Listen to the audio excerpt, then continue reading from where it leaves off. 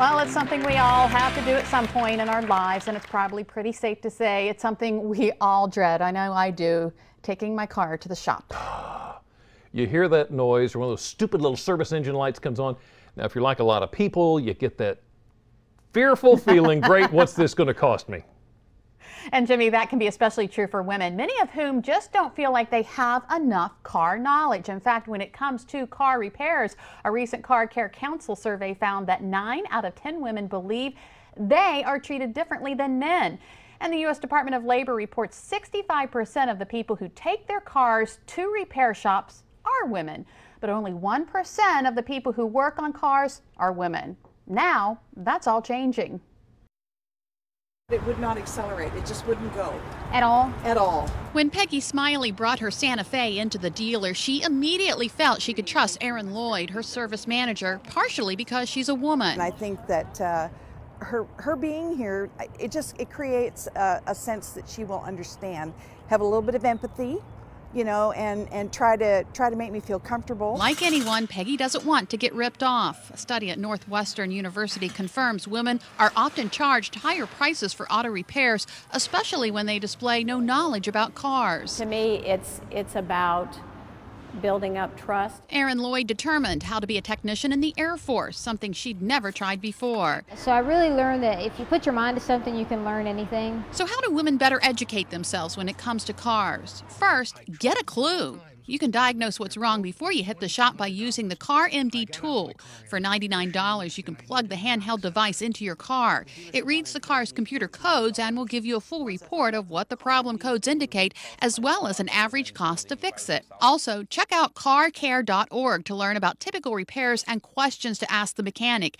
And when you get to the mechanic, use all your senses to describe the problem. For example, say you feel the car pulling to the left, particularly at speeds faster than 40 miles per hour. It's also a good idea to find a place you trust and stick with it. Well, I want them to feel comfortable and that it's not about their car, it's about them. Now, not only are women getting technical training in the military, but technical schools that offer auto repairs are seeing more and more women enter the automotive field. In fact, the number of women in the automotive field is projected to rise significantly over the next several years. Really? Mm -hmm. And that's mm-hmm. that's awesome. Now, you, something you said that is, is really, really important is nobody likes feeling taken advantage of. Right, right. So it's really, really important that you find a shop that you trust. Everybody wants to be treated fairly. Everybody wants to be treated honestly. According to Drive Steady, there are actually some telltale signs that you may want to find a new mechanic. The first sign is there are dusty cars on the lot. Also, be wary if the mechanic's garage is the garage at his house. They probably don't have the diagnostic equipment to do the job right.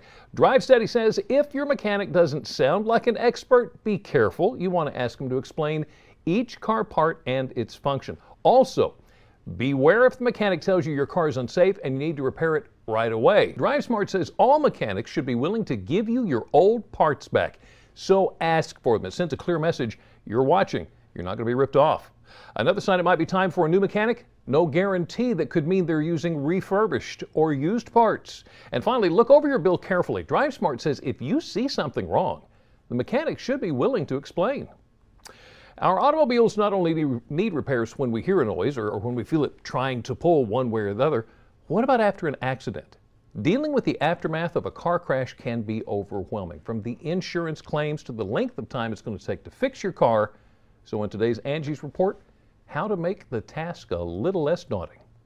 Carrie Neal didn't think a trip to the ballpark would end up in a visit to the body shop. I'm not the best driver in the world, so at first I was like, oh no, did I, have I done something, you know, like, did I make a really big boo-boo and didn't notice it? And then I was like, no, there's no way I could make a dent this big and not be aware of it. Neal discovered the dent after her daughter's softball game. She suspects the car parked in front of her did the damage. She immediately contacted her insurance agent, who gave her a list of recommended auto body shops. Angie's list says there's nothing wrong with using a shop that your insurance company recommends, but you're not required to by law. Neal decided to go with Bruce Kelley's shop, a shop she knows and trusts and has worked with in the past. They knew that we had two pretty young children, and it was summer and you know not not that there's ever a good time but not the easiest time to be kind of trying to juggle um, getting the repair made. Body shop owner Bruce Kelley says you should always check a shop's certifications and don't be afraid to ask questions. How secure is the shop? Do they have liability insurance? And most importantly, how long is the repair going to take? A lot of people have an expectation of repair.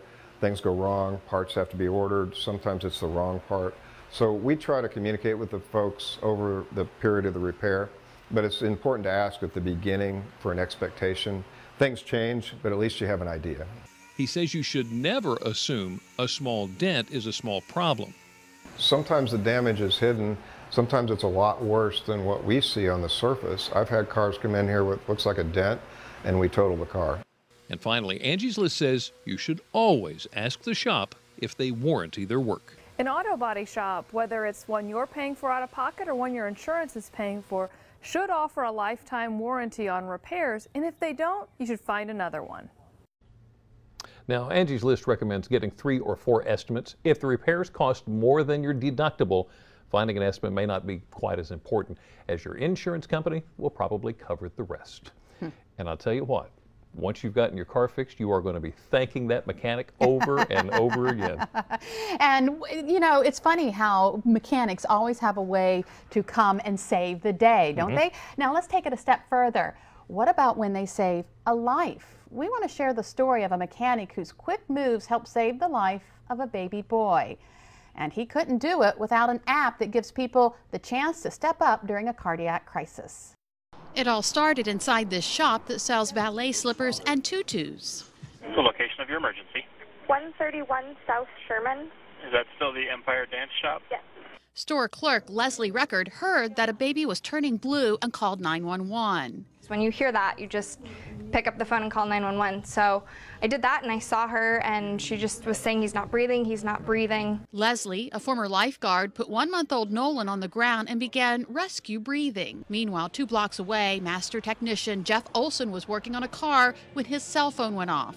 And it sounded like an Amber Alert, you know, how they come out. And so I looked at it and it said CPR needed and it gave the address. And so Olson, who's a volunteer EMT, left his garage and raced to the dance shop.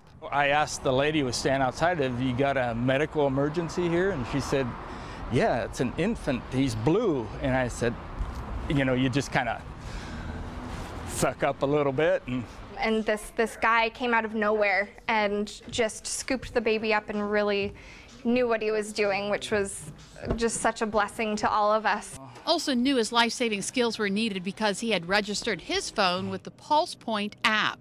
While fire paramedics were still several minutes away, the app put Olson in the right place at the right time to keep Nolan alive. I don't think I've ever done CPR on an infant before or even rescue breathing, and it was uh, when I got done, I shook for about 10 minutes. What happened to Nolan is the very first save since the fire department connected the pulse point to its dispatch center. The real benefit and the reason why we are so invested in this technology is because you can be a lifesaver. This is one of the only apps that, that you can download. If you know CPR, you could actually save somebody's life. Isn't that a remarkable story? Good save. And Good we, save. we've talked about Pulse Point on the show. It's, yeah. it's a new app. It's just incredible to see it actually saving lives and this is just the beginning. It works. As a matter of fact, there is another new system that can make a big difference when people call 911. It's called Smart 911.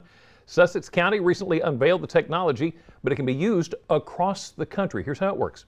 You open a profile and you can submit personal information online. What you choose, any information that you choose. Medical conditions, identification records, you can put photos in if you want. That information will then be sent to responders in the case of an emergency, with the goal being to help them in the time of crisis.